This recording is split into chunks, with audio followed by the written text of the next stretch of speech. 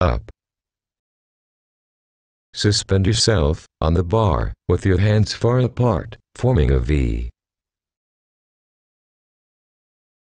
Your arms must not be totally extended so that your dorsal muscle is always tense. Pull yourself upwards until your chest reaches the bar. While you are lifting yourself, your body must follow a straight line and must not swing backwards or forwards. Return to the starting position slowly and remember not to extend your arms completely.